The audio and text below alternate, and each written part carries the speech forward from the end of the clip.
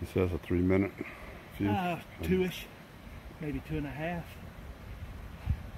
Had those caps a long, long time. They've been perfectly dry, but fuse cap has a potential it could fail. yeah, If it does, we're gonna leave it there for about an hour. Then right. Come back and Go.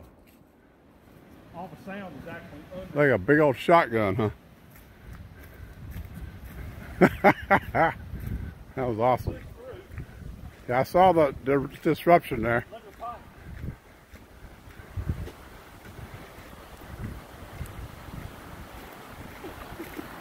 That's coming out. Look at that. Good shot. Come here, Joe. Don't. Too late now. Look at that, Joe. Good job, Lloyd. That, that, that daggone uh, beaver's going, what the heck? That's where it's supposed to be coming out at. What if the beaver flies out? Well, I'd like to see that, just pay him back. Look at how much it's flooding back there now. You'll see that water levels will go down over